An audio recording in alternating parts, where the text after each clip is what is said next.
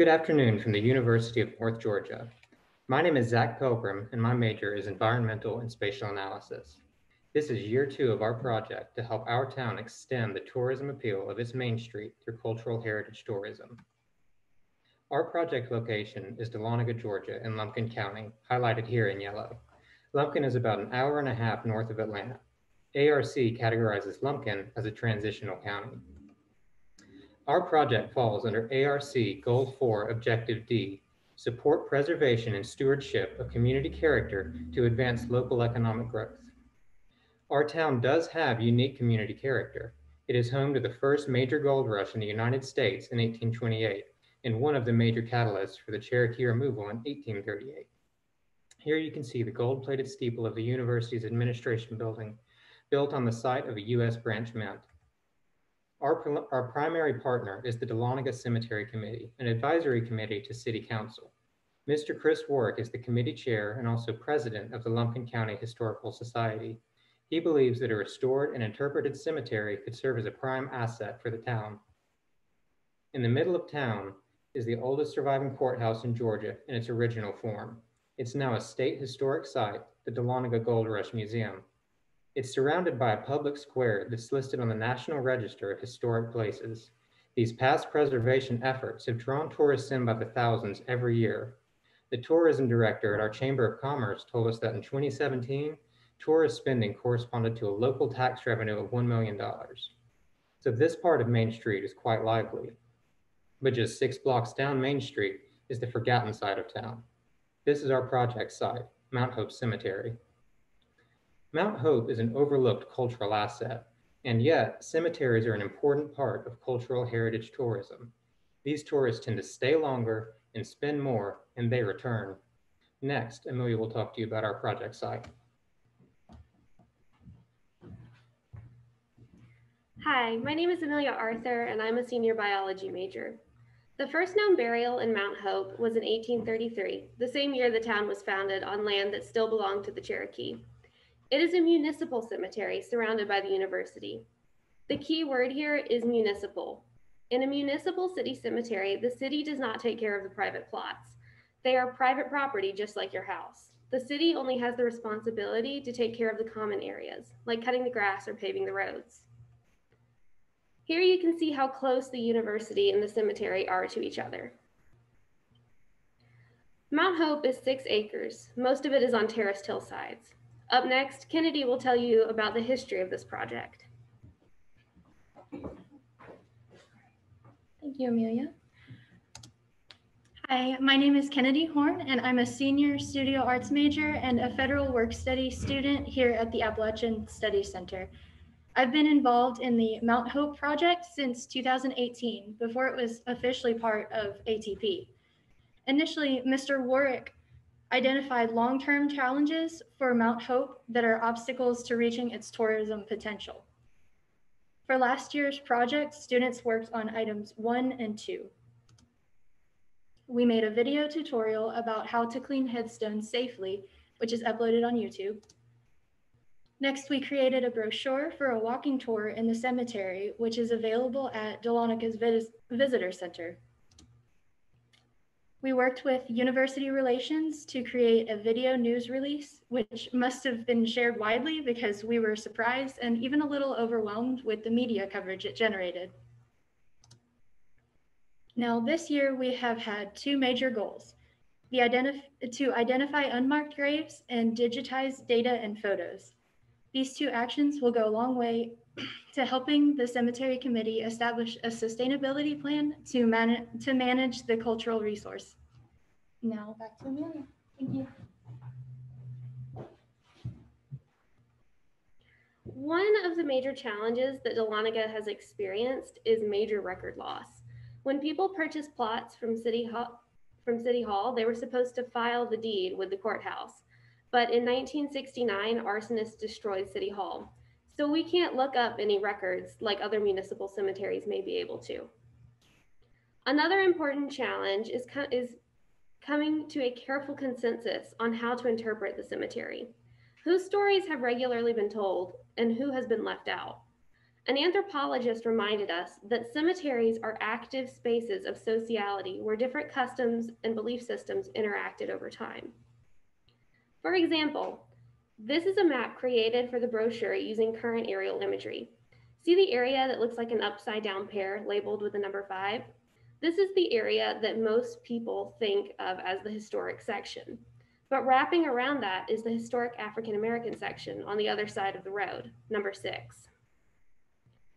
If we don't have many records for this section of the historic white cemetery, then we have even fewer for the enslaved people and descendants who contributed to Dahlonega history. You can see the difference in the amount of markers in each section. Our local histories have been written by white people, mostly about white people, for white people. We believe it's important to represent all of the populations in our history. For instance, many people don't know that slaveholders sent enslaved people to serve as labor in gold mines during the off agricultural season. This fall, we concentrated on locating descendant populations, particularly in relation to the historic African American section. We wanted to learn about individual life stories as well as the larger story of contributions of people of color to our community. We are using snowball sampling to locate these descendant populations. The idea is that if you locate one person and build a relationship with that person about your project, they will tell others. Our primary gatekeeper is Ms. Green, who works on campus. Here she is showing us a remembrance wall at Hickory Grove CME Church. Many of the same surnames have been found on the 1867 voter registration records, which was the first time African American men were able to register to vote. Just as it is important to research individual lives, it's also important to understand how families were connected in the county. Tassie is now going to tell us a little more about headstones. Hi, I'm Tassie Garrett. I'm a senior here at the University of North Georgia, and I'm a psychology major. Um, as part of our uh, study, we have worked in the cemetery to clean, maintain, and repair African the African American section within the Mount Hope Cemetery. Ms. Green joined us several times throughout our uh, fieldwork experience, and the cedar trees that you see uh, are actually actually serve as grave markers within the cemetery. So this is a representation of us um, resetting the headstones. Throughout the project, our main goal was to reset and clean the headstones within the African American section. Uh, we have learned extensive amounts of information on different cultural traditions um, um, pertaining to African Americans, particularly uh, the funeral traditions. And if you want to learn more, we have an extensive literature review on that. This is a representation of a field stone. Um, and that's what it looks like when we finish our when we finish reset, resetting the headstone. And Josh will tell us a little bit about the um, history behind Mount Hope.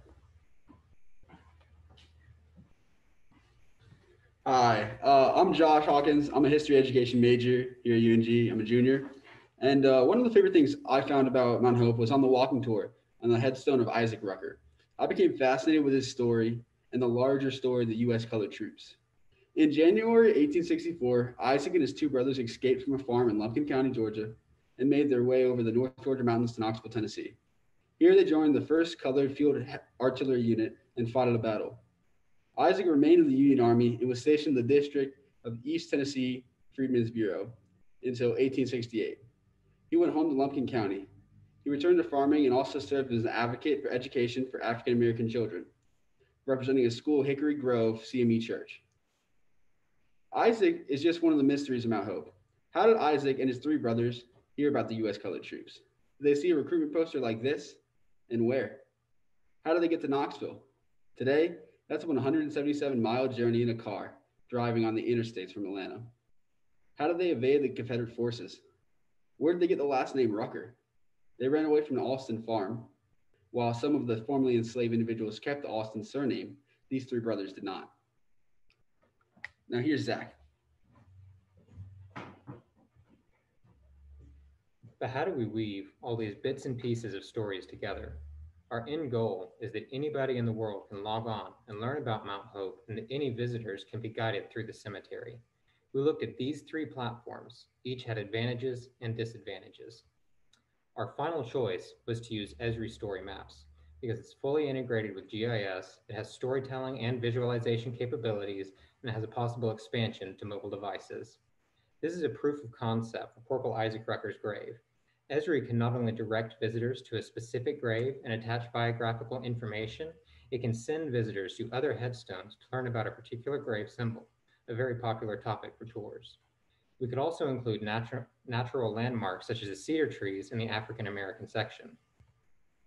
Esri will also allow us to connect to locations outside the cemetery that are related to those interred at Mount Hope. Many buildings downtown are already interpreted with a Dahlonega Stories plaque. Take Dr. Jones, for example. Next is Owen.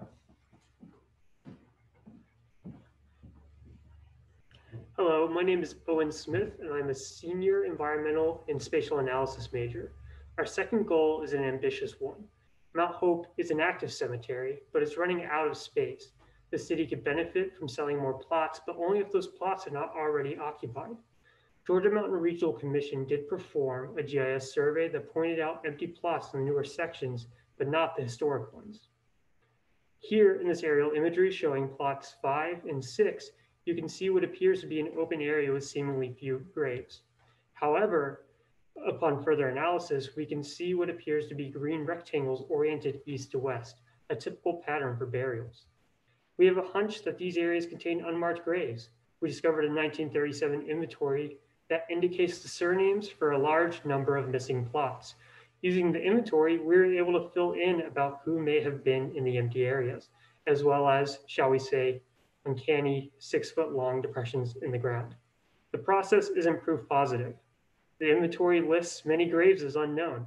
It indicates surname of plot owner and not necessarily the names of the person in the grave. This inventory only goes up to 1937.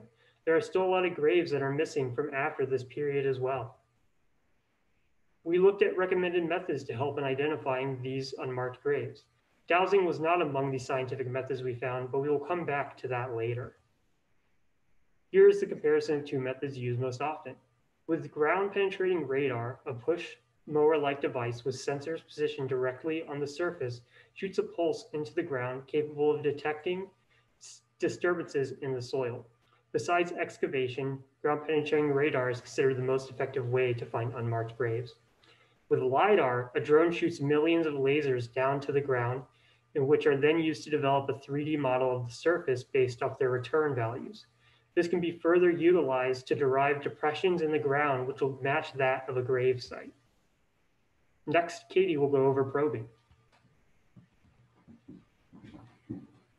Hello, my name is Katie Bush. I'm a uh, junior digital arts major. Um, we did learn about probing. Probing was, and still is, a standard way to identify unmarked graves. This is as straightforward as it sounds. A large metal rod is pushed into the ground. It takes a bit to get used to the feel of it. Sometimes it's difficult to tell the difference between a rock and a headstone that has been overgrown with grass. Here's an example. What appeared to be a small rock was actually four soapstone slabs that had been used as a protection over the grave of a child. From what we read in the town's newspaper, many of the graves at Mount Hope were simply mounds of dirt. Appalachians used what they had, and soapstone, a locally available resource, was abundant in North Georgia. The slot and tab tombstones are also made of uh, soapstone. We visited one of the abandoned quarries and brought home some samples. And now back to Zach.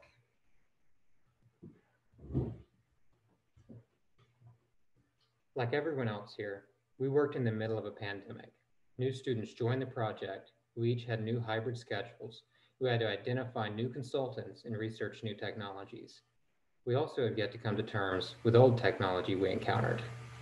Back to dowsing. One of our community partners taught us how. He had two metal rods, and every time he placed them over the head of a grave, they would cross.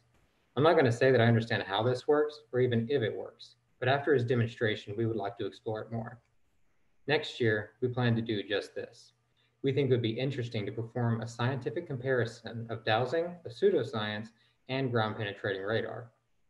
Our two major goals for the spring will build our Esri story map and develop a pilot test for ground penetrating radar so we can report back to the partner and the community. We could not have achieved our goals without the help of all of our students, 22 people who showed up to help with our fall cleanup, our volunteer photographers, our volunteers, our new community partner, and all of our university partners. Thank you.